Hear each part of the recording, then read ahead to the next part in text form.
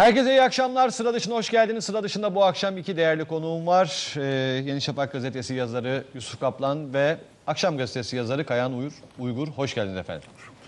Şimdi bu akşam önemli bir meseleyi masaya yatıracağız. Ee, bir ufuk turu ge- gerçekleştireceğiz. Dünyaya biraz yukarıdan bakacağız.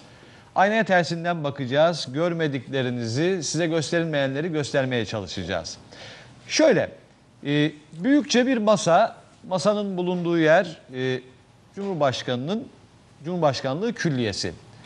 Masa etrafında koparılan fırtına.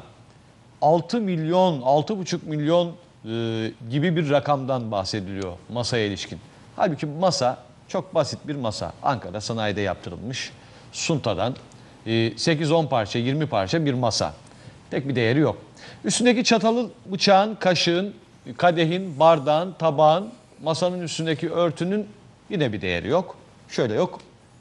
Demirel'den yani 9. Cumhurbaşkanı merhum Demirel zamanında alınmış e, işte yemek takımları vesaire. Hatta daha geriye gidelim. Hatırlayın hafızalarınızı bir tazeleyin. Dolmabahçe Sarayı'ndaki eşyaları bir düşünün. Atatürk'ün kullandığı o dönemki eşyaları düşünün. Ondan sonraki cumhurbaşkanlarının kullandığı eşyaları düşünün. Yani işte bir kadeh, kadehin üzerinde e, şöyle sarı altın bir varak olması. e, dünyadaki bütün cumhurbaşkanlığı saraylarında ya da işte e, sıradan bir restoranda bile görmeye e, alıştığınız görüntülerden başka bir şey değil aslında. Bunu öyle bir büyüttüler ki bir anda Türkiye'nin gündemine geldi. Rakamlar havada uçuşuyor. Mimarlar Odası 6,5 milyonluk masa diye verdi. 6,5 milyonluk masa.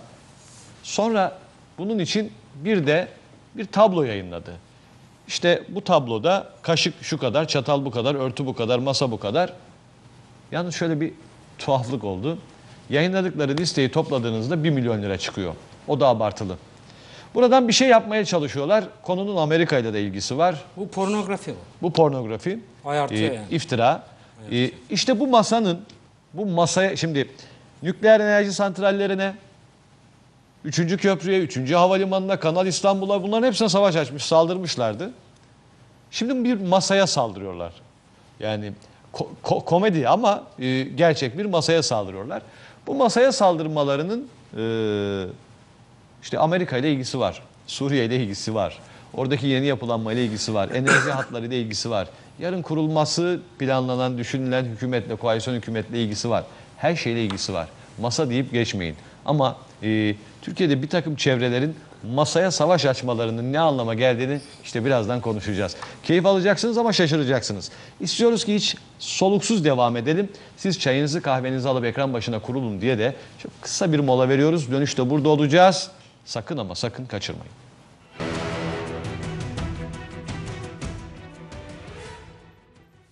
Yeniden birlikteyiz ve sıra dışı başlıyor. Masayla girmiştik. Ee, çok pornografik e, demişti Yusuf Kaplan. Aynen öyle. Ee, eminim birçoğunuzun evindeki masa e, Cumhurbaşkanı sarayındaki o masadan daha kallavi ve e, daha kalitelidir. E, kimilerinin evindeki masayı e, yani mesela Aydın Doğan'ın evindeki masanın fiyatını düşünmek bile istemiyorum mesela. Saraydaki masa işte yuvarlak ve büyük bir masa. Niye büyük? İşte davetlere ağırladıkları ve Cumhurbaşkanı'nın masasında birçok insanı e, bir arada e, görmek istendiği için.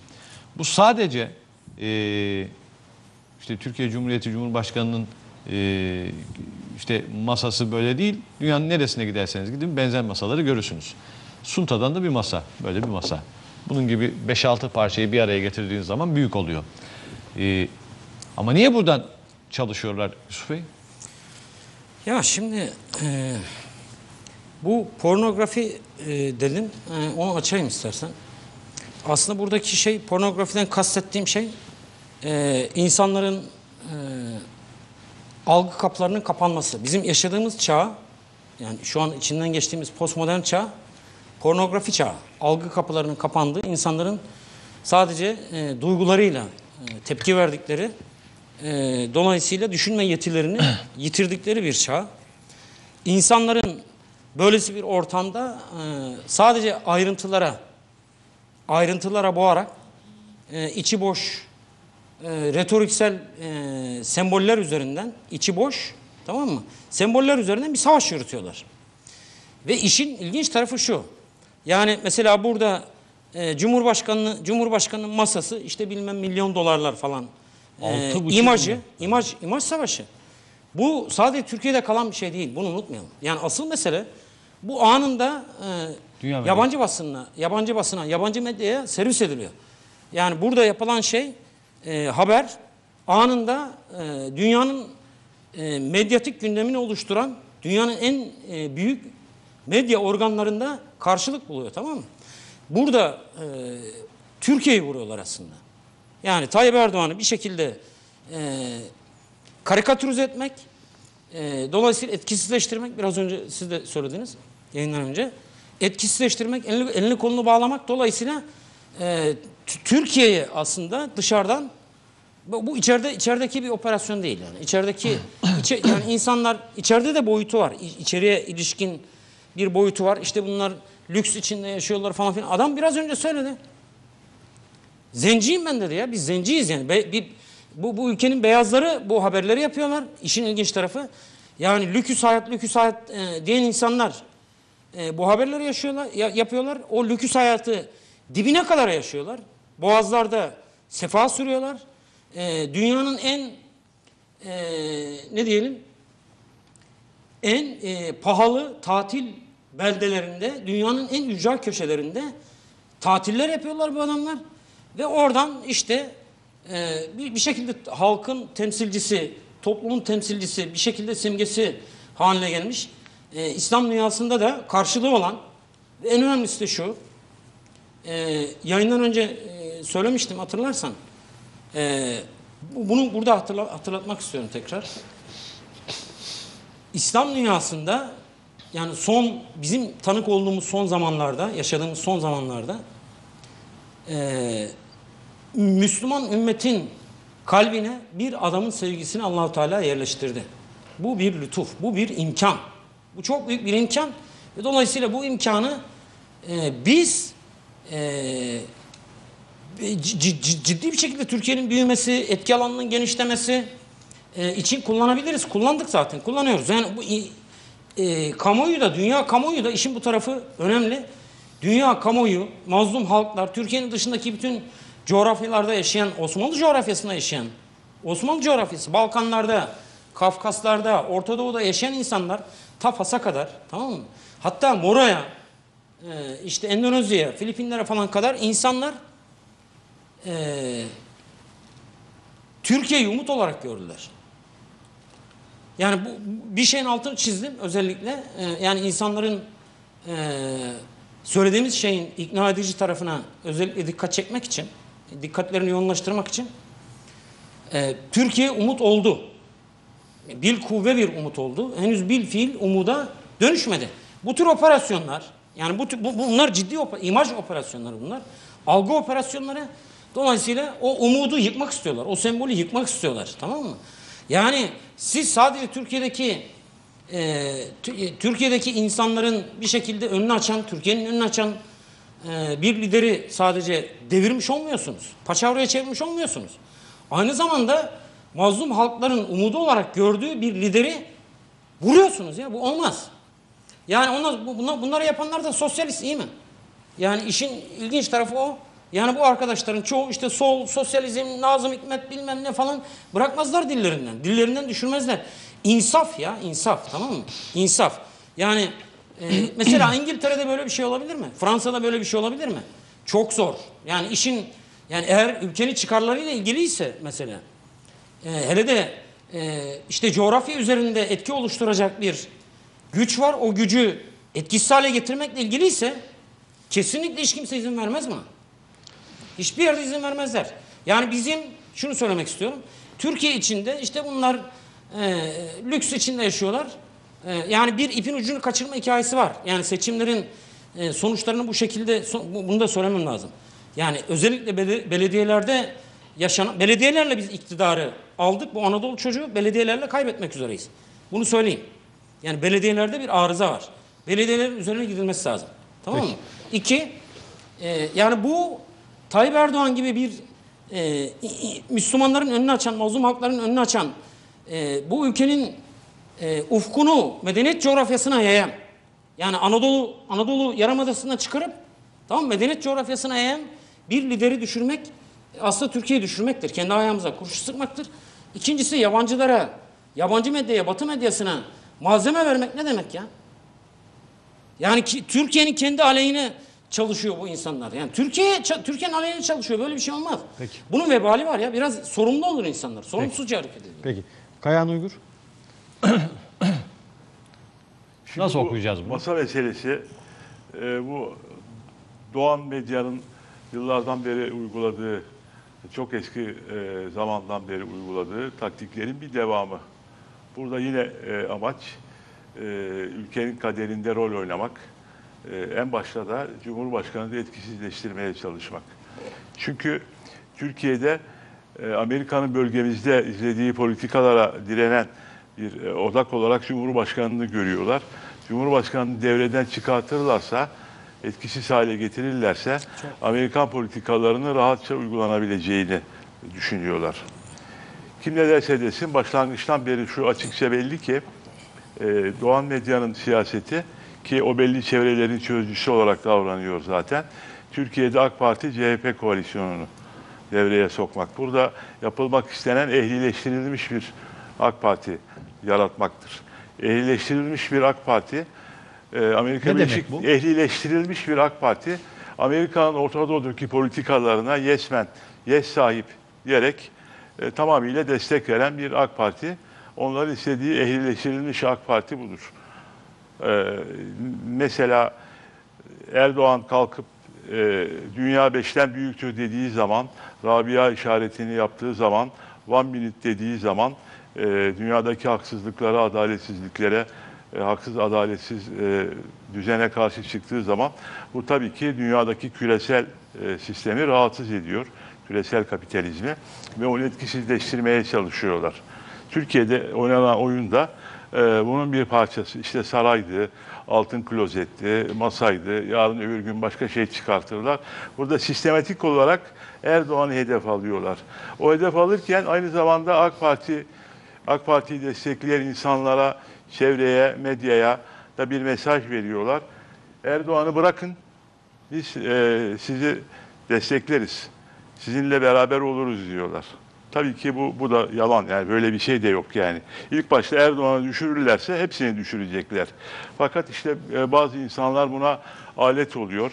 Yani Amerika ile aramızı bozmaktansa, Batı ile aramızı bozmaktansa işte Erdoğan'ı veririz, e, kurtuluruz zannediyorlar. Oysa Erdoğan'ı vermek Türkiye Sarı- sarı Cumhuriyeti'ni öküz. vermektir. Erdoğan'ı vermek ülkenin Hikayesi. bağımsızlığını, birliğini ve bekasını vermektir. Bunu düşünmüyorlar. Yani hangi görüşte olursak olalım mutlaka Erdoğan'ın içinden geldiği AK Parti'yi desteklemek, desteklemek şart değil. Hangi partiyi desteklersek destekleyelim, ülkenin Cumhurbaşkanı'na yönelik böyle alçakça saldırılara karşı eğer ülkemizi seviyorsak onun arkasına geçip onu savunmamız lazım.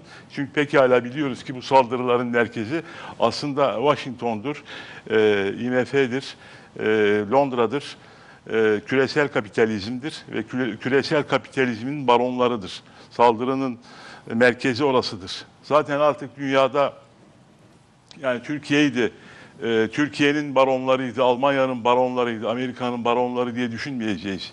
Dünyada bir e, küresel kapitalist sistem var ve küresel kapitalizmin elitleri var. Bu elit kesim e, yıllık gelirleri belli bir miktardan fazla olan herkesi kapsıyor. Bunun içinde din, dil, e, millet, köken önemli değil. Nitekim bir Bilderberg grubu var mesela. Bilderberg grubu içinde Amerika'nın eski istihbarat örgütleri kurucusu ve lideri e, olan Karanlıklar e, Prensi Richard Pell de var. Aynı zamanda Mustafa Koç Beyefendi de var. Bunlar gayet iyi anlaşıyorlar. Ve bu çevreler e, Türkiye'den bu sene misafir, bunlar yönetim kurulu üyesi olarak Türkiye'den misafir çağırmak gerektiği zaman Bilderberg toplantılarına katılanlar için, katılmaları için bu sene çağrılanların hepsi sol görüşten insanlar iki Cumhuriyet Gazetesi yazarı, iki CHP milletvekili gibi. Bu da e, Türkiye'deki e, muhalefetin ve solun kesinlikle e, bazı çevrelerin aleti haline geldiğini ve tamamen e, bu e, Türkiye'deki bu odağın tamamen küresel kapitalizm hizmetinde olduğunu bir kere daha ortaya koymuş oluyor.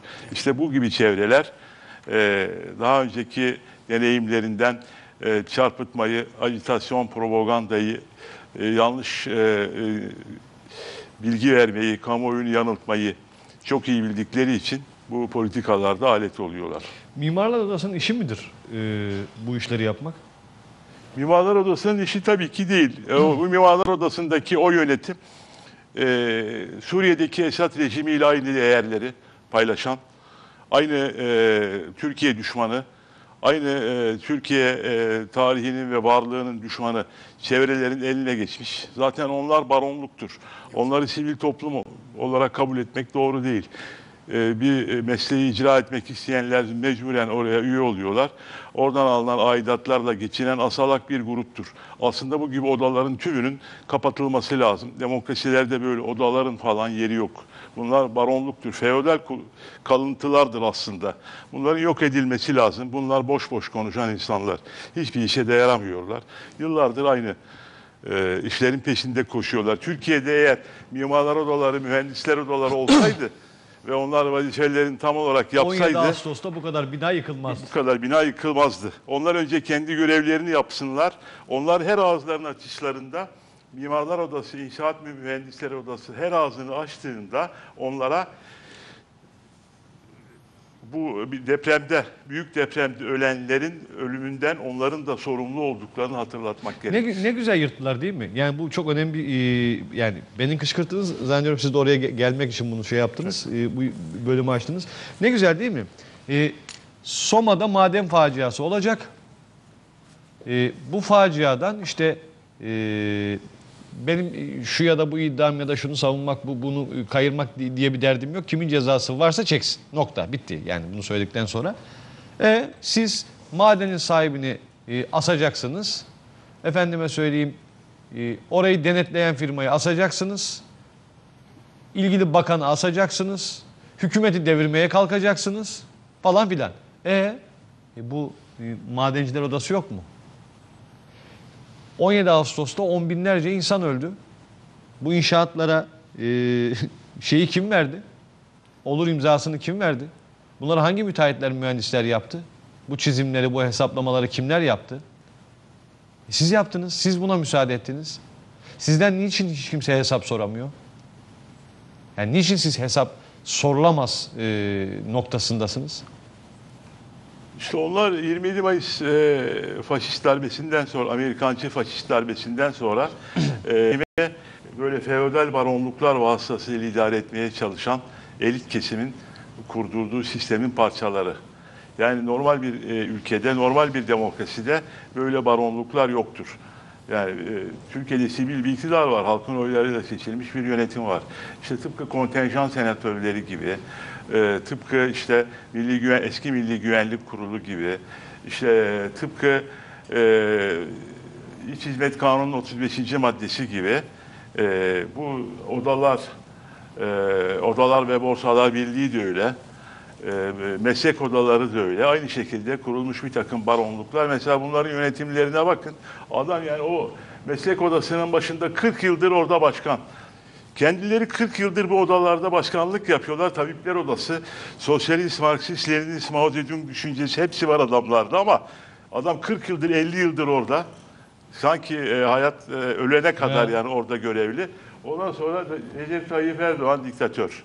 Yalnız sen oraya 40 yıldır oradasın. Ne hakla Bunu söyleyebiliyorsun. ne hakla başkalarına diktatör diyorsun? Bir aynaya bak. Eğer sen diktatör olmasan 40 yılda bu kadar Türkiye'de rejimler değişti, insanlar öldü.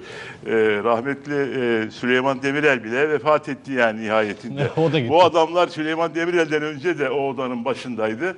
Süleyman Demirel vefat etti, hala oradalar ve bunlar çok demokrat. Başkaları diktatör. İşte bunlar bu tür insanlar. Bunlar yani yeni Türkiye'de olmaması gereken bir takım parazitler. Onları yani bir şey alıp e, kazımak ve o as- asalakları Türkiye'den temizlemek lazım. O asalaklar var oldukça Türkiye'de mikroplar her yana e, yayılır ve Türkiye asla temizlenemez. Müthiş bir şey. O asal yani güzel bir pencere açtı. O Güzel. hastalıklar, o parazitler maalesef Türkiye'nin yani Türkiye'nin yürüyüşünü bunlar durduruyor. Kesinlikle. Yani üçüncü köprüyü durdurmaya çalışıyor. Üçüncü havalimanını durdurmaya çalışıyor. Nükleer enerji santrallerini durdurmaya çalışıyor. Kanal İstanbul'u durdurmaya çalışıyor. İşte masayla uğraşıyor, sandalyeyle uğraşıyor. Ya bak şimdi milletin e, millet e, yani kamuoyunun ezberlerini e, bozmak lazım. Bozmak lazım. Tamam şimdi acayip ezberler üzerinden gidiyoruz. Bunlar bir taraftan işte medyaya hakim oldukları için bir takım kurumlara kurumlara hakim oldukları için uluslararası bağlantılar olduğu için küresel sistemin uzantılar olduğu için e işte TÜSİAD, TÜSİAD'ın etrafındaki danışmanlarına falan bakıyorsun. Türkiye'nin en önde gelen sol, entelektüel çevreleri. Bir dakika ya yuh yani. Bu nasıl bir şey? Yani Türkiye'de şöyle bir şey var. Ya dün mecliste yemin töreninde HDP'liler İstiklal Marşı'nı okumadılar. Ve Okumadılar. bu, ve bu konuşulmuyor. Türkiye'de bu Şimdi, konuşulması gereken e, şey bu. Türkiye'de Dün, A- Doğan medyası dün ülkeyi karıştırmak için vay şerefsiz manşetini atmıştı değil mi? Leyla Zanalar işte Kürtçe yemin edeceğim dedi diye ortalığı ayağa kaldırmışlardı. Başörtülü birisi meclise girdi diye kıyamet kopmuştu. Ülke elden gidiyordu, şeriat geliyordu, cumhuriyet yıkılmıştı vesaire. Tehlikenin farkında mısınız falan diye manşetler atıyorlardı. Bir bayrak işte HDP ya da o çizgideki bir partinin kongresinde bayrak asılmadı diye kıyamet kopuyordu. Ama dün ne olduysa oldu. İstiklal Marşı'nı okumadılar. Saygı duruşuna katılmadılar. Ee, Bazıları genel başkanları hiç sesleri çıkmadı. Onlar her türlü Medyanın hiç sesi çıkmadı. Evet, Bu medya- adamların sesi tabii, çıkmadı. medyayı Masaya kastediyorum. taktılar. Aydın işte masayla uğraşırken bunları dikkatimizden çektiler. Gözümüzün önünden kaçırdılar. Efendim şundan sesleri çıkmıyor. Eskiden e, bu e, PKK ve e, PKK'nın e, silahlı elemanları Suriye'deydi. O zamanlar Suriye o zamanlar Suriye e, Sovyetler Birliği yanlısı bir ülkeydi E, ve Amerika'ya karşı bir pozisyon içindeydi. Dolayısıyla e, PKK'nın pozisyonu da Amerika'ya karşı bir pozisyondu. Hatta o zamanlar PKK bugünkü e, Kuzey Irak e, Kürdistan bölgesel yönetimini Amerikancı olmakla, Amerika'ya satılmakla suçluyordu. Görüyoruz ki bugün PKK'nın kendisi Amerika ile çok yakın işbirliği içinde. E, Amerika ile işbirliği yapan bir örgütü Doğan Medya'nın suçlaması, vay şerefsiz demesi mümkün değil ki. Amerika ile PKK'nın arası iyi ise Doğan Medya'nın da PKK ile arası iyi olur. Amerika'nın PKK ile arası kötü olsa veya HDP ile aynı şey. e, Doğan Medya'nın da kötü olur. Onlar yani PKK'nın dal kavuğu değil, Amerika'nın dal kavuğu. Yarın PKK ile Amerika'nın arası bozulsun yine vay şerefsiz diyeceklerdir. Mesela onlar yani Selahattin Demirtaş'ı sevmiyor. Selahattin Demirtaş Amerika'ya gidip Amerika ile anlaştı diye Selahattin Demirtaş'ı seviyorlar. Tabii. Yoksa stüdyodan çıkar çıkmaz arkasından yine ne dediklerini artık Selahattin Demirtaş düşünsün. Biliyor da nitekim. Buradaki şey şu. Yani burada e, yani 27 Mayıs faşist darbesi dediniz ya küresel çok e, önemli bir e, yer. Oradan başlanabilir. Yani orada bir şey oluşturuldu. Türkiye'de bir elit elitokrasi oluşturuldu. E, bürokrasiyle bağlantısı olan olmayan, bağımlı, bağımsız. Yani özel sektörde e, var olan özellikle medya üzerinden Türkiye'nin kamuoyunun e, şekillendirilmesinde kilit rol oynayan bir elitokrasi. İşte beyaz Türkler diyoruz ya biz buna. Şimdi işin ilginç tarafı şu. Ee, ya biraz daha geriye gittiğimizde Jön Türkler ve beyaz Türkler diyoruz değil mi? Yani bu beyaz Türklere baktığınızda işte Türkiye Türklerindir diyor. O aslında tam tersi demek. Türkiye Türklerin değildir demek aslında. Yapılan bütün şey e, yayınlar, e, bütün operasyonlar aslında onu gösteriyor. Yani bu ülkeden bu ülkenin çocuklarını, bu, bu ülkenin Anadolu'nun çocuklarını, bu ülkenin asıl sahiplerini bir, bir şekilde uzaklaştırdılar şimdiye kadar. Yani bu ülkede ipler bu ülkenin çocukların elinde değil hala. Problem buradan kaynaklanıyor. Yani o 27 Mayıs faşist darbesi falan derken şimdi ben şunu söylemek istiyorum. Jön, jön Türkler de beyaz Türkler de Türk değildi. İşin tuhaf tarafı bu. Yani işin ilginç tarafı bu. Yani o kadar böyle afilli, afilli cümleler kuruyorlar, tanımlamalar falan yapıyorlar ama işin ilginç tarafı şu. Paradoks şurada. Türkiye'de iki cephe var aslında tamam mı? Birincisi eee birincisi batı, batı, bat, batının uydusu olmamızı isteyenler. İkincisi batı batı uyduluğuna direnenler. Tamam mı? Tayyip Erdoğan size söylediniz biraz önce. Yani açıkça işte One Minute'le bu zirveye çıkmadı mı? Bütün dünyanın gözünün önünde ortaya çıktı. Küresel kapitalizme direnenler bu haksızlığa, zorbalığa Değil mi? Buna direnenler. E, ikincisi e, bu küresel zorbalığa, küresel kapitalist sisteme direnenlere direnenler. Kim bunlar? Türkiye'deki solcular. Yani sözüm ana Türkiye'deki solcular. Abi siz ne yapıyorsunuz ya? Yani ne, ne yaptığınızın farkında mısınız yani? Bu, bu, bu nasıl bir şey? Ben bunu anlayamıyorum. Türkiye'de sol hiçbir zaman zaten var olmadı. İşin problem problemin tarafı bu. Hikmet Kıvılcımlı, bir, Kıvılcımlı diye bir adam var değil mi? Hiçbiri tanımaz bunların. Hikmet Kıvılcımlı bu toprakların çocuğu. Ya bu topraklardan bir kıvılcım çaktırmaya çalıştı. Ee, olmadı. Ee, işte e, İdris Küçükömer bu bu ülkede bu ülkenin e, işte önünü açacak entelektüel e, e, entelektüel birikimini harekete geçirecek bir çaba koydu ortaya. Adamı dışladılar. E, Kemal Tahir bu bu toprakların çocuğu. Adamı aforoz ettiler. Ya siz kimsiniz ve kime çalışıyorsunuz? Siz kimsiniz? Yani Türkiye'nin önünün açılması lazım. Küresel kapitalist sistem darmadağın etmiş durumda ya. Dünyanın e, gelirlerin, dünyadaki ekonomik gelirlerin yüzde birini, pardon, e, yüzde e, e, yüzde 48, 47'sini bakın. Dünyadaki ekonomik birikimin yüzde 47'sini dünyanın yüzde biri kontrol ediyor. Dünya böyle bir felaket yaşamadı. Tarihte böyle bir felaket yaşanmadı. Siz diyorsunuz ki dünya beşten büyüktür diyorsunuz. Yani bu dünyada başka aktörler de var, başka kültürler de var, başka toplumlar da var. Dolayısıyla bunların da bir şekilde dünyanın geleceğinin şekillenmesinde söz sahibi olması gerekir diyorsunuz değil mi? Buna isyan ediyorsunuz. Yani küresel sisteme, küresel kapitalist sisteme one minute çekiyorsunuz. Vay sen niye one minute çektin diye senin ipini çekiyorlar. Bu olmaz. Yani bunların maskesinin düşmesi lazım. Hem E de siz bu, ip- kime? bu ipi içerideki işbirlikçisinin eliyle çekiyor. Tabii piyonlarıyla çekiyor. Ya piyonlarıyla çekiyor. Tabii piyonlarıyla çekiyor. Yani işin bu ürp- ürkertici tarafı, e, ürpertici tarafı bence bu. Yani Türkiye'de e, bu yani Türkiye'deki bu insanların Türkiye'ye verebilecekleri bir şey yok. Bu düzenin yıkılması lazım. Yani e, işte mimarlar odası, e, tabipler odası bilmem ne falan isim vermek istemiyorum aslında ama bunlar baronların piyonları ya burada. Küresel baronların piyonları. Ya Türkiye için, Türkiye'nin önünün açılması için çalışan insanlar değil ki. Yani bunlar e, sadece kendi çıkarlarını düşünen insanlar. Ya dolayısıyla küresel sisteme çalışıyor. Küresel sistemin önünü açıyor. Aklınıza herhangi bir oda gelsin şu anda. Bizi izleyen seyircilerimiz için söylüyorum. Aklınıza herhangi bir oda gelsin ve o odanın girin internet sitesine bakın. X oda. Ya DHKPC propagandası görürsünüz oralarda. Ya bir, bir- takım böyle ma- marjinal propagandalar görürsünüz. Ya dine, diyanete, e, mi- millete küfür görürsünüz. Abartmıyorum. Aklınıza hangi e, oda gelirse gelsin. Oturduğunuz yerde girin. Falanca odanın sitesine girin bir bakın. Mutlaka orada bu söylediklerimden birini, birinin propagandasını görürsünüz. Mutlaka. Ya bunu, bunu nasıl izah edeceğiz? Ya bak burada şöyle bir şey. Çok önemli bir şey. Çok özür dilerim. Şimdi bak dünya e, şu an tek tipleşti. Tek bir dünya var. Tek bir küre var. Bütün sınırlar ortadan kalktı. Ekonomik sınırlar ortadan kalktı. kalktı kü- küçücük bir sınırlar, köye dönüştü. Bak e, kültürel sınırlar ortadan kalktı. E, siyasi sınırlar ortadan kalkmak üzere tek bir coğrafya var. Tamam mı? Ölçek büyüdü. Fakat ufuk daraldı. Yani artık bütün dünya Batılıların eseri. Bütün kullandığımız kavramlar, kurumlar, siyasi, kültürel, entelektüel, ahlaki, estetik bütün kavramlar ve kurumlar Batılıların eseri. Ve dolayısıyla bütün dünya Batılıların esiri. Biz de özgürüz diye dolaşıyoruz tamam mı? Özgürlük şarkıları söylüyoruz. Çok komik oluyor tamam mı? Çok komik oluyor. Ve burada yapılması gereken benim özellikle dikkat çekmek istediğim şey şu.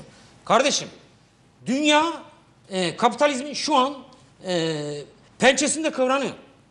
Çin kapitalizmin kölesi haline gelmiş. Hindistan kapitalizmin kölesi haline gelmiş. Silikon Vadisi'nde o devasa, derinlikli, nefis Hint kültürü boca ediliyor kapitalizme. Böyle bir şey olmaz. Tamam mı? Japonya bitti zaten. Japonya'yı bitirdiler. Şimdi yani Afrika perişan durumda. E, Latin Amerika'nın adı yok. Adı ne Latin ne Amerika. Buradan gelmek istediğim şey şu. Yani dünyanın e, bakın dünyanın dünya nefes alamıyor. Yani Batı uygarlığının dışındaki kültürler, medeniyetler, toplumlar nefes alamıyor. Tamam mı? Dünyanın nefes almaya ihtiyacı var. Biz tam da burada böylesi bir zaman diliminde dünyaya sadece nefes verebilecek değil, ruh üfleyebilecek değil, aynı zamanda nefes olabilecek bir aktör olduğumuzu gösterdik tamam mı? Biz dünyaya nefes olabilecek bir aktör olduğumuzu gösterdik. Yani Somali'ye koştuk değil mi? Bu çok basit bir şey değil. Bu acayip bir şekilde ürpertti adamları. Adamlar ürperdi. Yani bu Somali'ye koşma hikayesi bir partinin işi midir? Bütün Türkiye seferber olmadı mı ya? Yani petrodolar, Arap ülkeleri bilmem ne, kapitalist ülkeler, Amerika'sı, şu su, bu su falan e, hiçbir şekilde ilgilenmediler. Kanlarını emdiler. E, Afrika'nın hala da emiyorlar. Paramparça ediyorlar. Dilim dilim ediyorlar. Biz ne yaptık? Hiçbir beklenti gözetmeden, hiçbir karşılık beklemeden koştuk. Bu bizim dünyanın geleceği olduğumuzu gösteriyor aslında. Yani bunu zaten söylemiş adam. Toynbee, yani çağımızın iki, iki büyük tarih felsefecisinden biri. Toynbee, Arnold, Arnold Toynbee. Toynbee. Ee, Osmanlı insanlığın geleceğidir demiş. Yani biz, şimdi Osmanlı tarihte kaldı falan filan o başka bir şey. Ama bizim ortaya koyduğumuz medeniyet fikri, medeniyet birikimi, bu medeniyet birikiminin farklı dinlere, kültürlere, medeniyetlere hayat hakkı tanıyan e, o kuşatıcı ve kucaklayıcı vizyonu bugün insanların ihti- ihtiyacını hissettiği vizyon ya. Yani adam istediği yeri işgal ediyor. İste, hoşuna gitmediği adamı deviriyor, düşürüyor. Böyle bir tam bir e, şey bakın şöyle bir kavramlaştırma yapalım. Soğuk savaş dönemi e, yeni bir savaş başlıyor aslında. Soğuk savaş dönemi bir barış dönemi gibiydi. Yani öyle sunuldu. Yani 1989 Doğu blokunun çökmesi işte bir barış dönemi falan diye sunuldu. Soğuk barış diye falan adlandırıldı. Yeni bir savaş dönemine giriyor dünya. Aslında bu Wikileaks belge, belgelerinin falan yayınlanması da biraz onu gösteriyor. Fransızların Şimdi Türkiye yeni bir e, nükleer e, anlaşma daha yapıyor. Fransa ile yapacak. Fransa ile yapacak. İçinde Fransa da var. Tabii. E, tam o esnada Wikileaks belgeleriyle Fransa'ya ne oluyor çektiler. Tam da ben burada şunu söyleyecektim. Ee, Turgay'cığım burada şimdi dünya dünya düzeni dünya sistemi çöktü. Tamam mı? Çatırdadı. Yani zorla kaba güçle ayakta duruyor bunlar. Yani siz diyorsunuz ki kardeşim bir dakika, bir dakika diyorsunuz. Birisi çıktı bir dakika dedi. Nereye gidiyor dedi. Bu dünya böyle gitmez. Bu dünya böyle gitmez. Dolayısıyla nefes olabileceğini bakın nefes alamayan bir dünyada nefes olabileceğimizi gösterdik biz. O ben o bir dakikayı şeye benzetiyorum. E, hani mekan söyleyeyim. Eminönü'nde Mısır Çarşısı'nda gidiyorsunuz. Kalabalıklar bir şeyler herkes gidiyor falan. Birden böyle tiz bir ses böyle mekanik falan böyle. Kulakları böyle e, hırpalayan. İnsanlar bir duruyor böyle. Birden bir sessizlik oluyor ve anlamaya çalışıyor ne oldu. Bu One Minute öyle bir şeydi. Yani yeryüzünde ezilen halklar bir durdu ve ne- anlamaya çalıştı Ya bak e, bir şeyi fark etti. Ee, küresel güç diye bir şey var ama e, bunun gücü kendinden menkul. Yani ne, nasıl bir güç? kaba güç. Kaba güç. Nasıl bir güç? Sen yekpareysen sana bir güç değil. Tabii. Ama bak bir de şu var. Bak ben e, birkaç hafta önce Ee, Çok- Kayan Bey'e de dilerim, söz vereceğim. Bu bağlamı devam bir, yani şey diye. bitireyim diye. Bir, birkaç hafta önce Tiran'daydım. Tiran'da bir konferans verdim. Konferanstan sonra e, Kosova'dan bir milletvekili, Kosova'dan konferans dinlemeye gelen bir milletvekili e, geldi yanıma. Dedi ki neredesiniz ya? İnsanlar bizi bekliyor. Yani bu herhangi bir basit sıradan bir vatandaş da değil tamam mı? Ya milletvekili, bir ülkenin temsilcisi tamam mı? Şimdi gene başka bir örnek daha vereyim. Kosovalı bir film yönetmeni aynen şunu söyledi. Bu çok önemli bir şey. Yani neye vurduklarını, nereye vurduklarını, ne kadar tehlikeli bir şey yaptıklarını, insanlığın önünü tıkadıklarını aslında hatırlatmak istiyorum. Adam dedi ki biz Kosovalı film yönetmeni, Türkiye'deki sinemacıları düşün. Ya Türkiye'deki sinemacıları, film yönetmenleri genel olarak düşün. Çok fazla şey yapmak istemiyorum ama e, bir yıl e, iyi insanlar da var yani. Türkiye için Türkiye'nin önünü açacak filmler yapan tek Türk de olsa insanlar da var. Adam dedi ki biz Balkanlarda iki şey için dua ederiz. Birincisi Allah rızası için. ikincisi Türkiye için. Türkiye'nin zarar görmemesi için, Türkiye'nin yeniden toparlanabilmesi için, Türkiye'den Türkiye'nin yeniden toparlanıp bizi toparlayabilmesi için dua ederiz dedi. Bu nasıl bir şey ya? Bu hangi milletin, hangi toplumun e, topluma nasip olmuş bir şeydir? Dünyada hangi hangi e, dünyanın hangi coğrafyasındaki bir ne diyelim bir film yönetmeni kalkar işte kraliçe için dua eder ya. Var mı böyle bir şey? Gebersin der ya. Allah belalarını versin der. Öyle değil mi? Böyle bir şey yani o. Kayan Bey ne der? Şimdi aslında şöyle bir durum var yani dünyada e, gerçekten büyük bir kriz var. Bu krizin asıl nedeni de artık yani e, bunları tabii e, Kriz ve çok Orta uzun Doğu. sürer. Dünyadaki kriz ve Orta Doğu gerçeği. Yani evet Orta Doğu'ya geçecek olursak dünyadaki asıl kriz artık e, sermaye kendini e, büyütemiyor. Çünkü içinde yaşadığımız sisteme göre sermayenin sürekli büyümesi lazım. Büyüme gerçekleşmeyince kriz ortaya çıkıyor. Büyümenin gerçekleşmemesinin nedeni de sosyal emeğin ortadan kalkması. Yani artık üretim süreçleri giderek e, otomatik hale geliyor ve önce işçiler ortadan kalktı, işçiler yavaş yavaş. Sonra memurlar, banka memurları vesaire gibi giderek dünyada yani işe ihtiyaç azalıyor. İş olmayınca da sermayenin karlılığı azalıyor. Bu durumda birinci yaşadığımız süreç bu. İkincisi bir yandan da sermayenin karlılığının korunması için giderek doğuya doğru kaydı kapitalizmin merkezi. Hindistan, Çin, e, Asya oraya doğru kayıyor. Yani bir e, hem bir hiyerarşi değişikliği var. Giderek yani tek başına Amerika dünyayı yönetemiyor en azından ekonomik bakımdan. Hiyerarşi değişiyor. Hem de büyük bir ekonomik kriz var.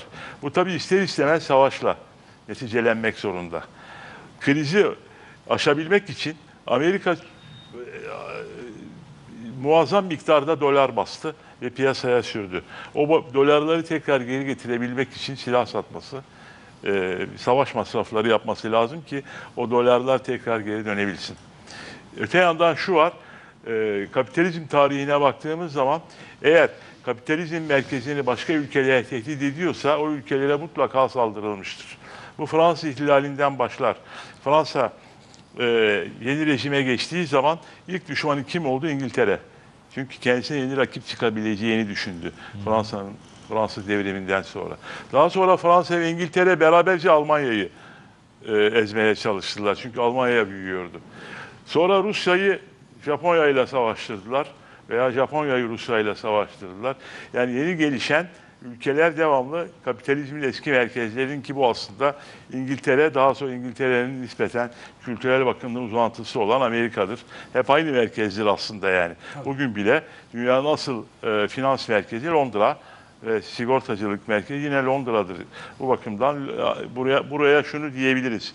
İngiliz-Amerikan birlikteliği e, bu bozulan hiyerarşiyi düzeltmek e, ve e, krize çözüm bulmak için dünyayı savaşa sürüklüyorlar.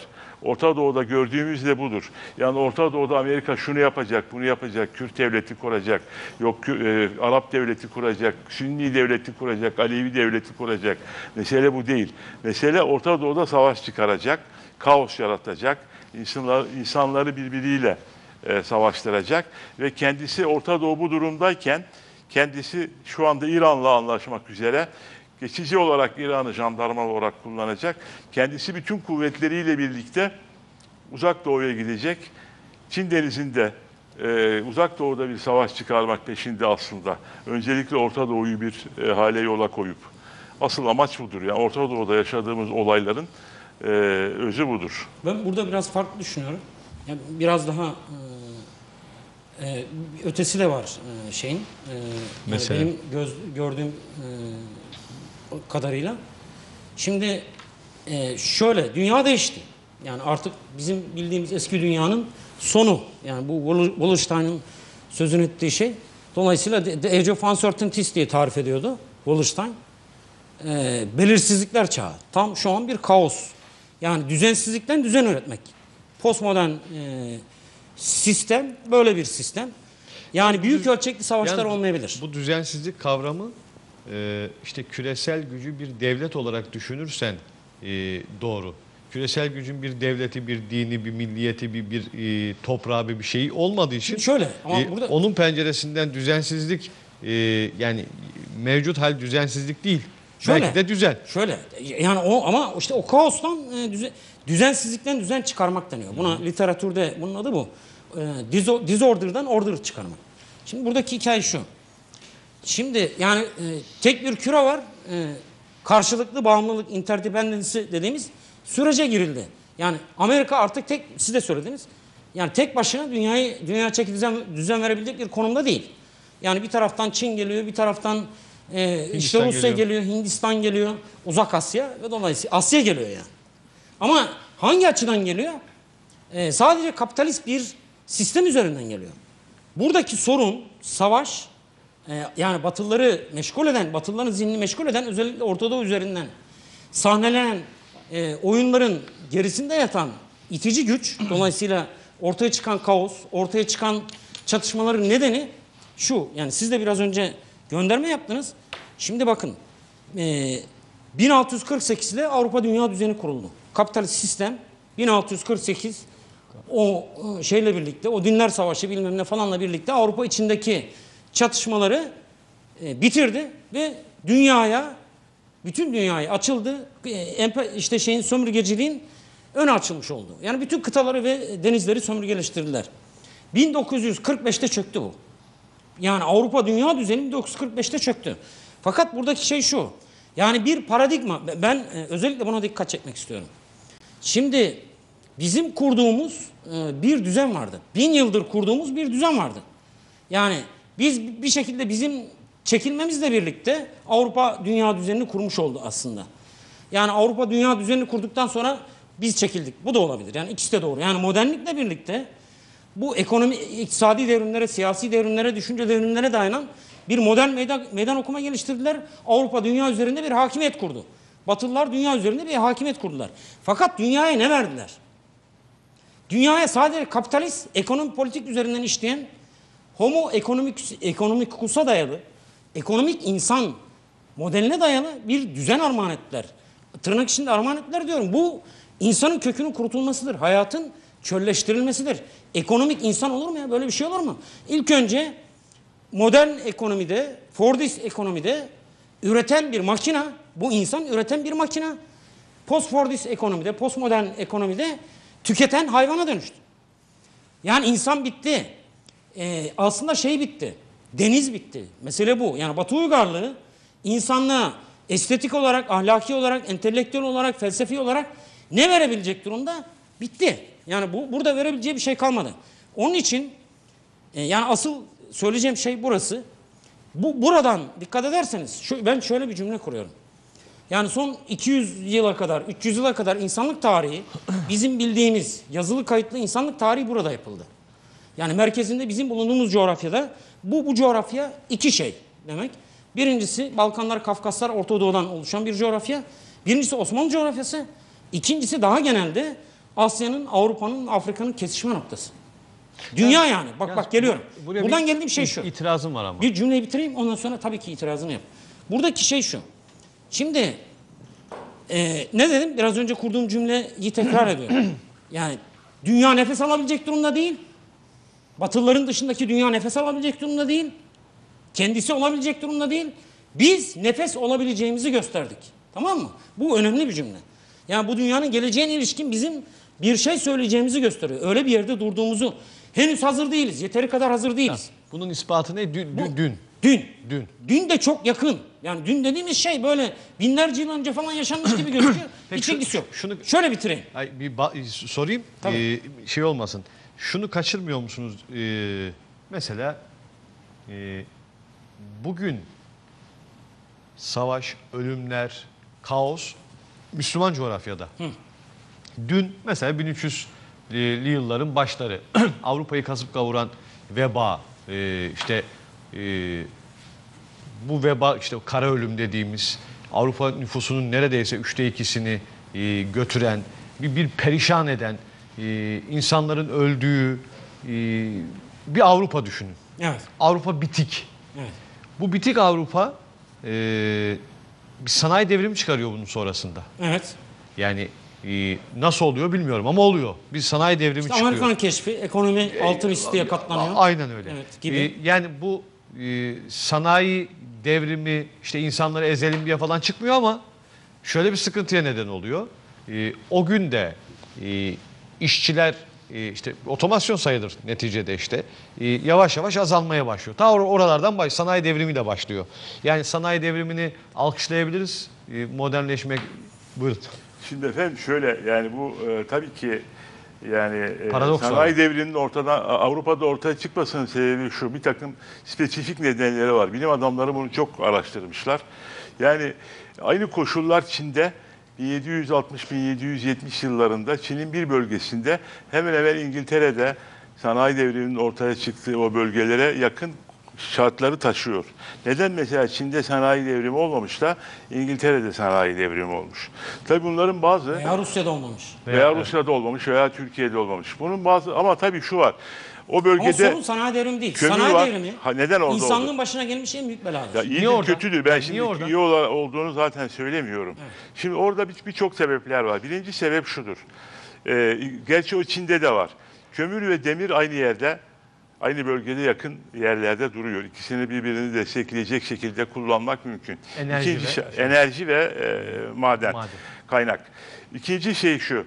Buhar makinesi. Buhar makinesi aslında eski Roma'da da vardı fakat yaygın kullanımı yoktu. Buhar makinesinin bulunması meselesi değil. Üç başka bir şey, kültürel şartlar. Kültürel şartlarda çok önemli bir şey var. İngiltere'nin e, kültürel yapısı buna müsa- müsaitti. Avrupa Dinler Savaşı'ndan çıkmıştı.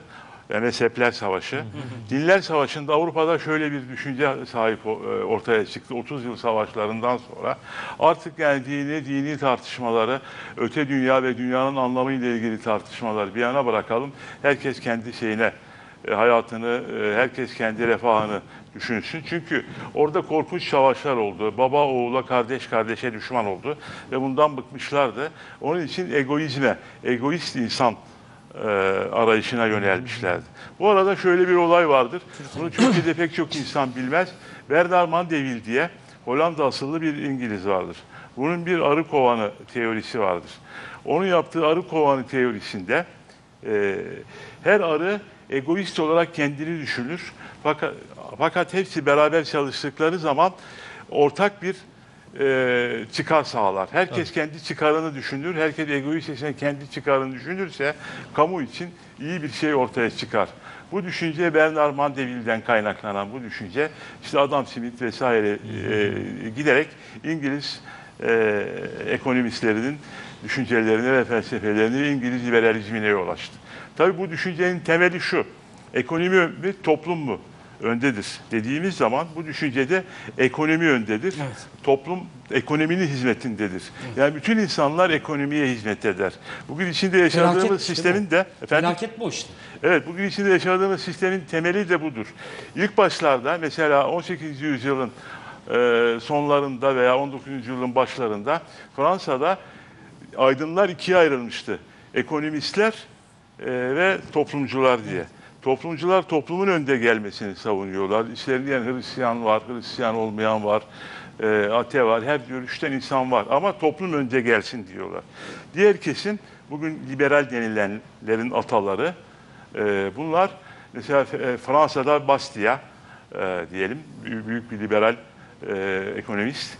Ekonominin önde gelmesini savunuyor. Şimdi ekonomiyi siz hedef alırsanız kalkınma yapmak, e, kalkınmayı sağlamak mümkün. Nitekim çok başka bir gelenekten gelmesine rağmen Çin de aynı şekilde bunu başardı.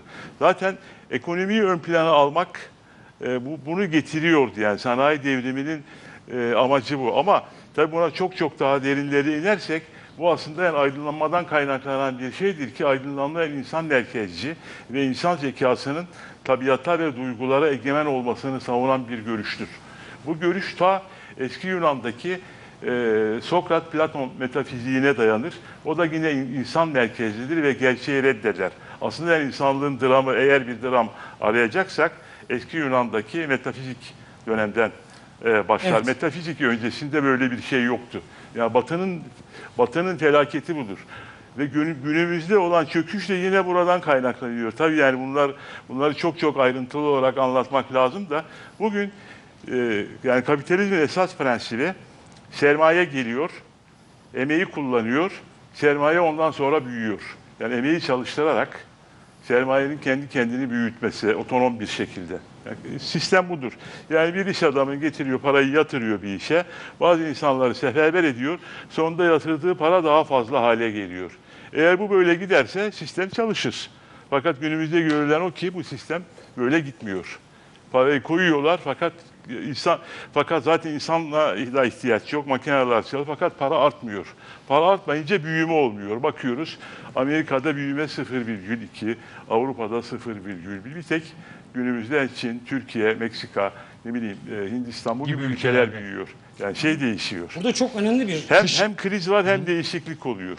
Kışkırdınız. Tam ne benim- olur not alın. Molayı verelim. tabii. Molanın ardından. Tam e, tam benim geldiğim yere geldiniz. İş tamam. Oradan- tam tam da Zaten- ta- Tam süper. tam da de orada bir tam da oradan devam yok. edeceğiz. Bir e, E, şey tam da oradan devam edeceğiz. Ne bir olur not fikir alın. ziyafeti E, muhakkak anlaşıldı. müthiş bir ufuk turu e, gerçekleştiriyoruz. Gözünüz kulağınız bizde olsun. Boş boş işlerle e, meşgul olmasın insanlar.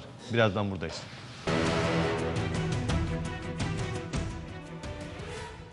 Yeniden birlikteyiz. Kaldığımız yerden devam ediyoruz. İzlemeyenler çok şey kaçırıyor. Altını çizeyim. E, Yusuf Kaplan'ı kışkırttı e, Kayhan Uygur. yani E, sabaha kadar gideriz. buyurun.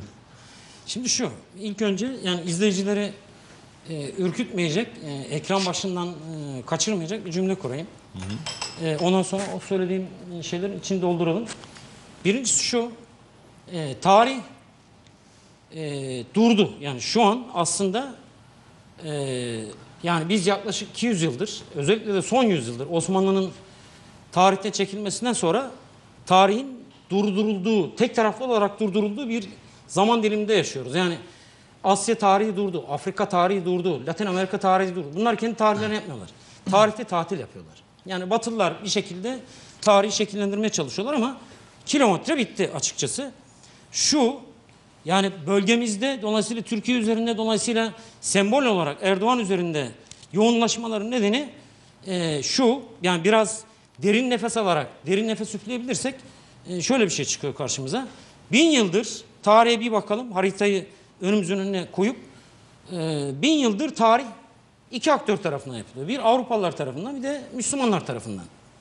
Şimdi yani işte Rönesans'a, Reformasyon'a, modernliğin e, ortaya çıkışı 400 yıl öncesine kadar kabaca Müslümanların e, şekillendirdiği bir tarih var. Bin yıllık süreçte. Son 200 yılda biz çekildik. Yani son 200 yılda e, Müslümanlar Osmanlı tecrübesiyle birlikte, Osmanlı durdurulmasıyla birlikte biz tarihten çekildik. Şu an bütün bütün Batılıların bütün stratejilerini Türkiye üzerinden, spesifik olarak Türkiye üzerinden, daha genel anlamda Orta Doğu üzerinden, bizim bulunduğumuz coğrafya üzerinden e, kurgulamaya çalışmaları e, aslında tarihin yeniden buradan yapılabileceğine ilişkin ipuçlarını yakalamış olmaları. Tamam mı? Bush doktrininde şöyle denir. Bush doktrini, yani bütün Amerikan başkanlarını biliyorsunuz. ulusal güvenlik stratejileri var. Mesela bunu atlıyoruz. Bu enteresan bir şey. Çok önemli bir Burayı- şey söylüyor. Tamam burayı bağlayın başka bir yere atacağım. Tam geleceğim. Bush doktrinde diyor ki adam 2004. Ee, bizim Orta Doğu'ya e, Hazar Havzası'na yerleşmemizin nedeni buradaki petrol e, yataklarını ve doğalgaz yataklarını kontrol etmek değil diyor. Bu, yani oraları zaten o kaynakları, enerji kaynaklarını, şunları bunları falan kontrol edeceğiz. Bir şekilde kontrol edeceğiz diyor. Asıl asıl hedef e, Batı uygarlığına meydan okuma istidadı gösteren, hala direnen, yani her, her şey, bütün primitifliğine rağmen hala direnen e, bir paradigma var. O paradigmanın kökünü kazımak istiyoruz. Ee, Bence Bu burada İslam'ın yeniden tarih sahnesine çıkma emareleri göstermesi üzerine Orta Doğu üzerine yoğunlaşma, yoğun- yoğunlaştıklarını söylüyorum ben. Şimdi bu bu e, bu söylediğiniz doğru ama ben bu bunu işin felsefesi olarak görüyorum. E, yani yaptıkları ve yapmaya çalıştıkları. Ha, pratikte- pratikteki karşılığını da söylüyorum. e, ben pratikteki karşılığı benim için başka bir şey. İsterseniz e, yani hani sizin ifadenizde kışkırtacak başka bir yere atayım topu. Şu. e, şu anda mevcut e, herkes e, dünyaya bir baksın, resmi bir okusun. E, bir sermaye var. E, onun dışında da savaş var. Evet. Ve insanlar ölüyor. Her yerde ölüyor. İşte Suriye'de insanlar ölüyor. Binlerce, on binlerce, yüz binlerce insan. Libya'da ölüyor. e, işte e, Afrika'da ölüyor. e, her yerde ölüyor. İşte Çin'de ölüyor. Ukrayna'da ölüyor. Libya'da ölüyor. Yemen'de ölüyor. e, Türkiye'de ölüyor. E, Allah şükür ki burada yani e, çok lokal ve böyle kalsın ayrı mesele. Her yerde insanlar ölüyor. Ama hangi coğrafyada insanlar ölüyor? Burada. Batının dışında bir coğrafyada insanlar ölüyor. Evet. Şimdi Ama Ee, yoğunluklu olarak burada. yoğunluk olarak bi- bizim coğrafyada. Neden? Ne, neden? İşte Ee, bu, bu çok basit bir şey. Bence oradan girelim. Malthus.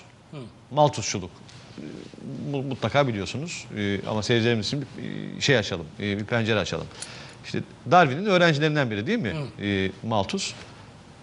Felsefesi şu. Diyor ki e, gün gelecek işte gıda ve e, canlı popülasyonu denge dengesi bozulacak diyor. Yani e, diyelim ki 5000 canlıya karşılık e, 10 10 birim e, gıda var ve yetiyor. Canlılar artacak, e, gıda azalacak. E, bu tırnak içerisinde yaratıcı faktörünü bir tarafta e, tutan e, zaten işte Kapitalizm işte. kapitalizm. E, o halde bir nüfus planlaması yapılmalı. Yani ciddi bir nüfus planlaması yapılmalı. Bu nasıl olacak? Bunun başlangıçta yani işte Malthusçuluğun e, temelindeki mesele şu. Asalakları, salakları, özürlüleri e, ve özürlü olma ihtimali e, işte daha anne karnında dikkat edin bir takım testler vesaire yapılıyor ya bugün. Üçlü test, dörtlüsü bir şeyler söylüyorlar vesaire. E, sonlandırmak, e, işte doğum olmadan hayatı sonlandırmak vesaire. E, yahut nüfus planlaması yetişemiyorsan e, bu, bunların hepsini yok etmek. Gıda, su en nihayetinde e, elimizde kalacak, kalması gereken yani enerjiyi yiyemeyeceğiz.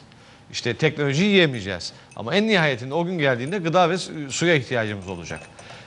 Gıda ve su bizim coğrafyada enerji sonrası asıl ihtiyaç duyduğumuz işte o Kissinger'ın dediği enerjiye sahip olan e, işte e, dünyayı e, gıdaya sahip olansa insanlığı yönetir diyor.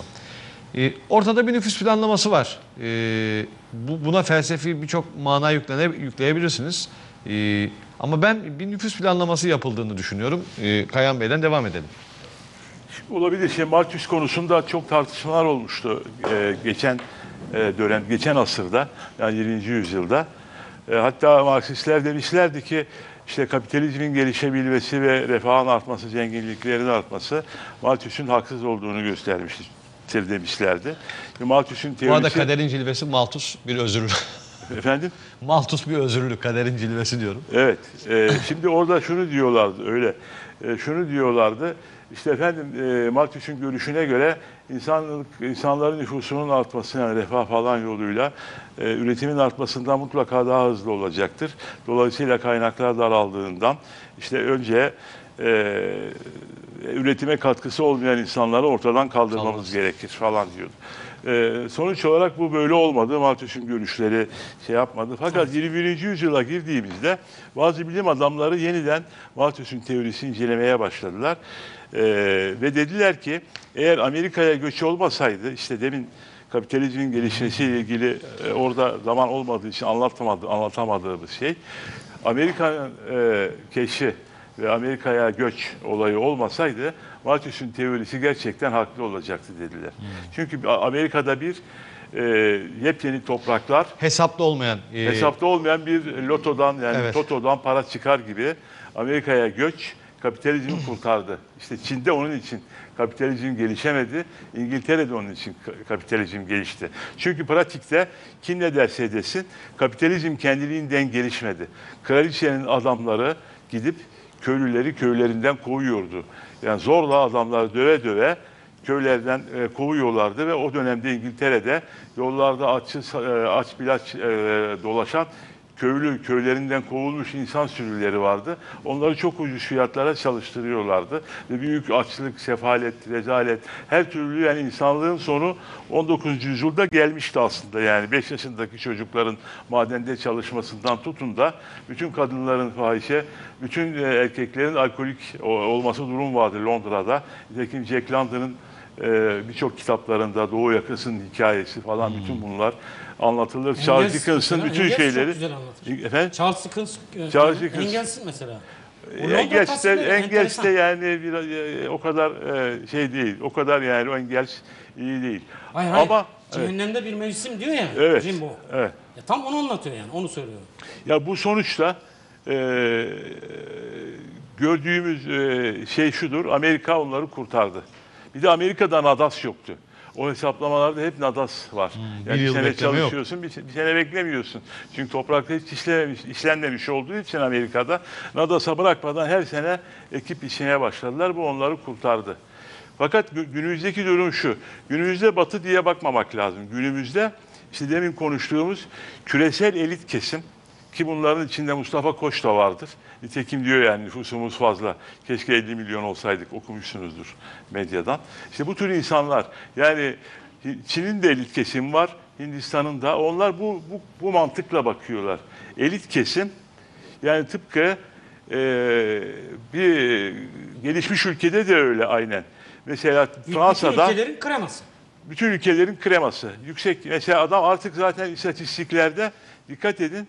Mesela CIA istatistikleri, O yüzden bir başörtülünün jip kullanmasına, o yüzden Tabii, işte tuhaf karşılar. Anadolu'daki bir insanın merkeze Tabii. gelmesine karşılar. Onlar yani belli bir kesime hitap ediyorlar. Sadece o kesimi görüyorlar. Zenginliğin İstatistik paylaşılmasını yaptıkları zaman da yani evet e, Türkiye'nin milli geliri işte yılda 10 bin dolar ama e, Türkiye'de yıllık geliri 100 bin dolardan fazla olan işte 5 milyon insan var mesela diyorlar. Yani. Onlar o tür insanlar hesaba bak. Mesela Çin'de işte yıllık geliri 30 bin dolar olan işte ne bileyim 50 milyon insan var. Mesela Hindistan'da şu kadar. Oradaki bütün insanları yani geliri belli bir düzeyde yüksek olanları istatistiklere katıp diğerlerini çöplük olarak görüyorlar. Onlar çöplüktür. Ama bu çöplük aynı zamanda geliş, gelişmiş kabul edilen kapitalist ülkelerde de var. Mesela Fransa'da, Belçika'da, Almanya'da, birçok Batı Avrupa ülkesinde ve Amerika'da daha da çok hatta. Üç nesildir, dört nesildir işsiz olan insanlar var. Adamlar sabah kalkıp işe gitmenin ne olduğunu bilmiyorlar. Bir e, kasa biri alıp bir ay içip televizyonun karşısında bütün ömürlerini öyle sosyal Geçiriyorlar. yardımla asalak bir içine geçiriyorlar. Bunların çoğu obez, hastalıklı, e, uyuşturucu ma- madde müptelası. Yani bunlar toplumun çöplüğü. Batı toplumunun kendi iç çöplüğü. Batı toplumunun e, mesela bir fabrikayı kapatınca işçilerine sokağa atıyorlarsa bugün artık ülkeleri kapatma dönemine geldiler. E, Somali kapandı, Libya kapandı, Yemen kapandı. İnsanlar çöpe atıldı. Ne olursa olsun. Birilerini öldürsünler. Yani ülkeleri bu şekilde çöplük olarak atıyorlar. Elit kesimin tabii kendi tercihleri de var. Burada Müslümanlıktan nefret etmelerinin belli bir sebebi var. Aslında bunlar dinden nefret ediyorlar. Fakat dini başka bölgelerde ortadan kaldırabilmişler. Müslümanlığı ortadan kaldıramadıkları için nefret ediyorlar. Kaldıramalarının sebebi yani ne- nefretlerin asıl sebebi şu. Şimdi insanları kontrol etmek için onlardaki basit duyguları harekete geçirmek lazım. Bunlar İkinci Dünya Savaşı'ndan sonra Silikon Vadisi yakınlarında Palo Alto'da insanları yönetme bilimini bayağı geliştirdiler. Bu yönetme bilimine göre insan psikolojisini Freud'deki e, Ödip kompleksi vardır. Ödip öncesi döneme getirmek insanları. Ya özetle şöyle diyebiliriz. İnsanları korku ve seks arasında gidip gelen basit duygularla insanları yönetmek ve onların tepkilerini önceden kestirebilmek. Din duygusu Pornografi onların... dediğim bu benim. Efendim? Pornografi dediğim bu. Evet. Pornografi. Sa- sadece tabii. ayartarak. Yani bir tarafı ko- aşırı korku, şok, diğer tarafı e, seks. Haz, İkisi arasında gidip korku gelen e, Ödip öncesi psikoloji. Kissinger Ve buradaki buradaki efendim Kissinger de öyle diyor ya. o da öyle diyor. insanları yönetmenin Zaten en, hepsi- en iyi yolu korku imparatorluğu. Hepsi aynı yerden çıkmadır. Yani bu belli bir, bir üniversitede, araştırma merkezinde geliştirilmiş teoriler bayağı bunu iyi bir şekilde geliştirmişler. Şimdi burada dini duygular insanlarda buna müsait değil. Dini duygular bir şekilde sübliminasyon yaratıyor. Yani insana yüce duygular veriyor. Hangi dini duygu olursa olsun. Ve dini duygular insanda beklenmedik davranışlar ortaya koyuyor. Yani iman sahibi bir insan Öngörülemeyen bir öngörülemeyen davranışlarda bulunabilir. İşte bu öngörülemeyen Mesela parantez davranışlarda içerisinde Tayyip Erdoğan diyor ki biz kefenimizi giydik kardeşim Ha, diyor. işte bu aynen Ölümden öyle, kork. evet. Şimdi bu bütün ezberini bozuyor. Tabii. Tamam yani bu işte Gezi'de korkutmak istediği 17-25 Aralık yani bu, siyasi bir münazayla söylemiyorum. Tüm samimiyetimle söylüyorum. Ee, Gezi'de korkutmak istediği işte e, 17-25 Aralık'ta korkutmak istediği yahut hatırlayın Ukrayna'daki olaylardan sonra bir kare fotoğraf yayınlandı. Hem Doğan medyada özellikle e, hem de cemaat medyasında. Neydi o? 3-5 polisin e, diz çöküp e, toplumdan özür dileme. Şimdi Evet. o karenin yayınlanmasının bir amacı vardı değil mi? e, Türkiye'de bir mesaj buna benzer. Yahut kaçtı. Erdoğan da kaçacak. E, işte Malezya'ya kaçacak. E, Ukrayna e, işte Cumhurbaşkanı kaçtı. İşte şurada falan. Sürekli o korkuyu e, şey yapıyor. E, indüklüyor. Fakat şöyle bir adam var. Biz kefenimizi giydik. Bu yol öyle çıktık kardeşim diyor. Bütün ezberleri bozuyor. Bütün denklem bozuluyor. Bütün kurgu alt üst oluyor. falan. İşte o orada e, intihar eylemcileri mesela onların e, teorilerini alt üst ediyor. Çünkü bunlar İkinci Dünya Savaşı'nda e, esir olarak aldığı Al- Almanlar üzerinde işkence ve şok e, deneyleri yaptılar yıllarca ve o deneyler üzerinden kitlesel psikoloji e, teorileri geliştirdiler. Yani bir ülkede e, şok yaratacak bir olaydan yararlanarak o ülkeyi etki altına almak, istedikleri yere sürüklemek. İşte onun için mesela Türkiye'de deprem olduğu zaman Clinton başta olmak üzere hepsi geldiler. O depremin yarattığı şoktan yararlanarak ülkeyi belli bir yere doğru Kanalize. e, kanalize etmeye çalıştılar. müthiş, bu bu, müthiş. türlü şoklardan yani bunları gerçekten bu konuda yazılmış yani ciddi resmi kitaplar, araştırmalar, bu konuda çalışan profesörler, Türkler de var bu arada. Bunlarda bu, bu işlerde görev alan Bir yani. saniye bu müthiş ya. Bu, bunu biraz açar mısınız? Yani e, deprem toplum şok yaşıyor. E, Clinton geliyor. işte Erkan Bebek Clinton'ın burnuyla oynuyor Evet. falan. E, bir, bir görüntü görüyoruz. E, o, o kötü atmosferde e, bir yumuşama falan işte yoğun bir yumuşama. Böyle bir şey midir? Baba imajını e, Türk toplumunda var olan geleneksel baba imajından e, kaldırarak Amerika'yı baba haline getirmek, bizi koruyan. Ama bizde olmadı. Yani biz yemedik falan yani. Böyle. Değil Çünkü çünkü çünkü Clinton Hristiyan onun için. Müslüman olmuş olsaydı Türkiye toplumu onu yerdi. Ha, Ama bir de şey var. orada, değil mi? Ama Bir saniye. Bir saniye. Öyle bir şey var. Yani Yani Amerika'ya karşı bir sempati oluşturuyor. İşte Oluşturdular, o zaman tabii. Müslüman coğrafyada yani e, İslam dünyasının Müslüman sokaklarında Erdoğan'ın e, böylesine sevilmesinin sebebi böyle bir şey. Tabii. E tabii ki. E tabii ki. Onlar mesela e, Bosna'da, Kosova'da özellikle yıllar önce bu e, barış e, şeyi gittiğinde, kuvveti bizimkiler de gittiğinde e, orada bana şunu söylemişlerdi. İşte Türkler geldiğinde Kosova'ya, Türk askerleri geldiğinde o panayır gibiydi. E, müthiş sevinç gösterileri vesaire. Alman askerleri anlayamadı bunu. Yani siz Kosova'lısınız. Bunlar Türk. Biz de geldik. Yani bi- bize pek yanaşmıyorsunuz falan ama bu bu sevgi ne- nereden geliyor falan diye. E bakıyorsunuz işte daha geçenlerde seçimlerden önce e, Sayın Cumhurbaşkanı Bosna'ya gittik. işte Arnavutluğa gittik. İşte oralarda e, miting yapıyor. işte bir ülkenin Cumhurbaşkanı miting yapıyor. Başbakanı miting yapıyor Kosova'da, Bosna'da, işte Arnavutluk'ta.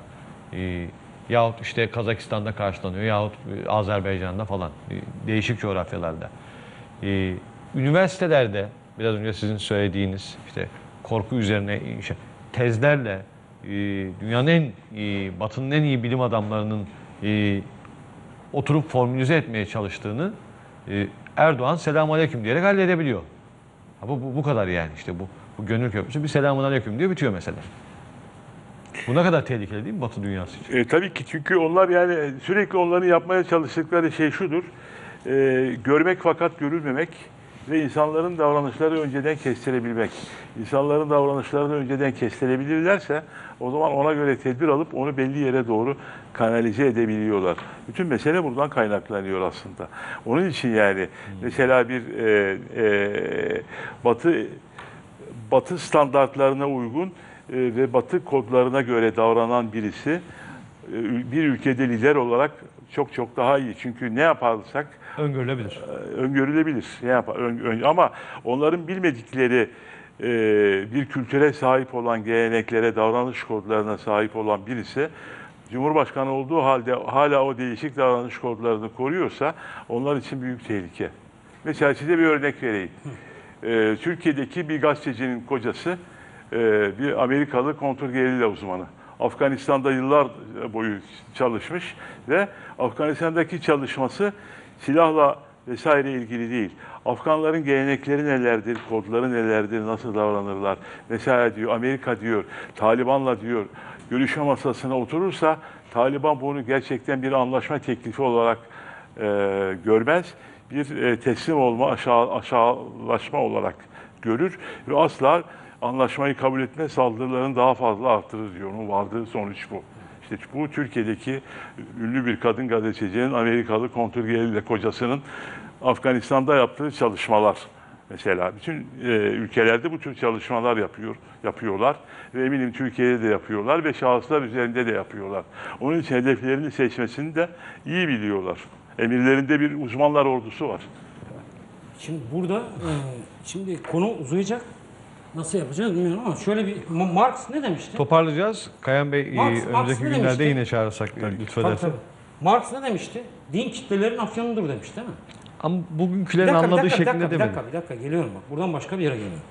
Şimdi aslında burada enteresan olan şey şu. Yani Marx'ın o lafını ettiği din kitlelerin afyonudur. Cümlesinden önce kurduğu cümle ne? Din ruhsuz dünyanın ruhudur. Tamam mı? Mesela Marksistler bunu bilmezler. Ezbere konuşurlar. Marx'ın orada kastettiği şey tam biraz üzerinden gittiğimiz şey. Kitle toplumu. Yani kitle toplumunda kitleleri yönlendirebilecek bir afyon, afyona dönüşebilir din. Yani tamam o Hristiyanlık falan filan değil aslında tamam mı? Yani bir şekilde kitle, kitleleri yönlendirebilecek bir afyona dönüştürebilecek her şey. Şu an gelinen noktada medya kitlelerin afyonudur. Tamam mı? Dini duyguları yok ediyorlar ve medyayla insanları yönlendiriyorlar. Medyayla insanları afyonluyorlar. Medya şu an çağımızın tam da konuştuğumuz şey o. Ya por- pornografi çağı derken kastettiğim şey de o benim biraz. Yani insanların düşünme yetilerini alıyorlar. Tamam mı? Sadece duygularını harekete geçiriyorlar. Ayartıcı, ayartıcı duygularını harekete geçiriyorlar ve dolayısıyla kitleleri düşünmekten alıkoydukları için kit, sürüler halinde yönlendiriyorlar. Sokağa çıkaracaksa sokağa çıkarıyor. Şok etkisi üzerinden, medyalar üzerinden sokağa çıkarıyor. Benim buradan geleceğim şey şu bakın. Yani biraz önce bıraktığınız şey biraz yarım kaldı. Onu tamamlayayım istersen. Orada önemli bir şey var. Bakın. Şimdi e, şu an yaşadığımız şey aslında bildiğimiz dünyanın sonu dedim. Biraz önce. Bu bunun altını çiziyorum. Bu basit bir şey değil. Yani yeni bir dünya kurulacak. Bu dünyayı kim kuracak? Yani paradigma dışı, mevcut paradigmanın dışında yani insanı ekonomiye mahkum etmeyen, insanı ekonomiye indirgemeyen, insanı insan olarak gören, insanı insani özelliklerini ön plana çıkaran, anlamı ön plana çıkaran, değerleri ön plana çıkaran, ahlakı ön plana çıkaran, dolayısıyla hakikati ön plana çıkaran bir paradigma insanlığın geleceğini şekillendirecek. Tamam mı? Batı'da yaşanan şey şu ve bizi getirdiği ve tıkadığı, tıkadığı yer burası. Tam bir e, işte bunu söyledi Max Weber demir kafes dedi ya. Bu demir tam bir demir kafesin içine tıkadılar şu an. O demir kafesin içinde de sürekli şey veriyorlar. Morfin veriyorlar. Acayip bir şekilde ehlileştiriyorlar. Onu söylediniz. Yani acayip, kitleler acayip bir şekilde ehlileştiriyorlar. Çok kolaylaştı artık. Hormonlaşmış. Mesela dindarlar yetiştiriyorlar. Yani hiçbir şekilde itiraz etmeyecek. Sisteme itiraz etmeyecek. Her şeye boyun, boyun eğecek. Ülkeler, aktörler, kitleler falan e, e, icat ediyorlar. Burada şimdi meselenin e, gerisinde yatan asıl felsefi nokta birazcık siz girdiniz oraya ama şöyle bir şey var bakın. Heidegger modernliği tarif ederken insanın her şeyin ölçüsü ve ölçütü katına yükseltilmesi diye tarif eder. Bu çok önemli bir tanımlama. Bu nedir? Bu işte Greklerle birlikte, Sokrat'la birlikte başlayan felakettir aslında. Yani siz de biraz oraya dikkat çektiniz. Yani orada Yunanisizm. Tabii tabii orada şu şu. Orada insan tanrılaştı artık. Yani insanın mesela felsefe tarihçileri burayı anlatırken şöyle anlatırlar. Sokrat'ın yaptığı müdahaleyi anlatırken disconnection diye anlatırlar. Yani Sokrat insanın e, tabiatta irtibatını, tabiat üstüyle irtibatını, Tanrı ile olan irtibatını kopardı. İnsanın gökle irtibatını kopardı ve yere düşürdü. İnsan yere düştü. Yere düşen insan yersizleşti, evsizleşti, her şey yerinden etti. Dolayısıyla mülk alemini mutlaklaştırdı, melekut alemini unuttu. Hakikati unuttu. Dolayısıyla bu modernliğe gelince ne oldu? Modernliğe gelince insan Tanrı fikrini yitirdi. Hakikat fikrini yitirdi. Ben buna e, yani bu jargon ama bunu kullanmak zorundayım. Ontolojik güvensizlik duygusunu yitirdi. Ontolojik güvensizlik duygusunu, Tanrı fikrini yitiren bir insan, hakikat fikrini yitiren bir insan yaşayabilir mi bu dünyada? Yaşayamaz. O zaman ne yapacak? Gücü ele geçirecek. Yani ontolojik güvensizlik duygusunu aşabilmenin yolu epistemolojik güvenlik alanlarını genişletmek. Bu şu demek. Yani bilgiye sahip olmak, bilgi ne? Güç. Francis Bacon ne dedi? İşte kapitalizmin doğuşu biraz böyle bir şey. Ee, Francis Bacon işte modern Yani modern bilimsel devrimi yapan adamlardan birisi. Descartes'le birlikte, Galileo'yla birlikte, Kepler'le birlikte, e, Kopernik'le birlikte knowledge is power dedi. Bak çok önemli bir şey. Bilgi güçtür. Bilgi yani gücü ele geçirdiğin zaman kendine olan güvenin gelecek. Yani Tanrı fikrini yitirdiğinde bu dünyada yaşayabilmen mümkün değil. Hakikati yitirmişsin o zaman ne yapacaksın? Kendine olan güveni kazanacaksın. Nasıl kazanacaksın? Gü- gücü ele geçirecek. Gücü nasıl ele geçireceksin? Tabiatı kontrol ederek. Tabiatı kontrol ederek, bilimi geliştirerek, modern bilimi geliştirerek, modern bilimle Bak bu çok önemli bir şey. Burada e, hakikati yitirdi, Tanrı fikrini yitirdi, insanı bitirdi, hayatı çölleştirdi. Sokrat'ı bilmem ama bunların hepsi Aristo'nun yüzünden oluyor belki de. Yo, yo, Aristo bütün onların sonucu. Ya, şu- Yo, yo, Aristo. Şimdi yo, Aristo onların sonucu. zaten. Niye dedim açayım mı? Açayım mı? Ya şimdi e, mesela hani bu e, egosu yüksek, e, haz, hız, e, şehvet toplumu falan.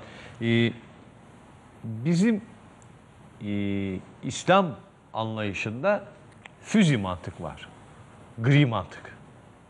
Yani mesela Aristo mantığı karikatürize edelim. İşte bir şey ya siyahtır ya beyazdır. İşte e, karga bir kuşsa bütün kuşlar kargadır. Bir şey ya acıdır ya tatlıdır. Ya soğuktur ya sıcaktır falan. E, ılığı yok. Grisi yok. Arası yok. Yani ya çok zengin olmalısın, zengin olmalısın e, ya da açlıktan ölürsün. Ya yok. Yani sana yetecek kadar, şükredecek kadar e, bir, bir e, imkana sahip olmak fikri yok. Çok zengin olmalıyım. Yahut e, batıp gideceğim. Daha fazla kazanmalıyım. Ben haklıyım. Yani mantık şu. Ya ben haklıyım ya değilim. Bak bu çok önemli bir şey söylüyor. Önemli bir şey söyle. Yani, ö- ö- yani şimdi niye karşındaki de haklı olabilir? Sen ya da o bir biraz daha az haklı ya da daha az haksız olabilirsin.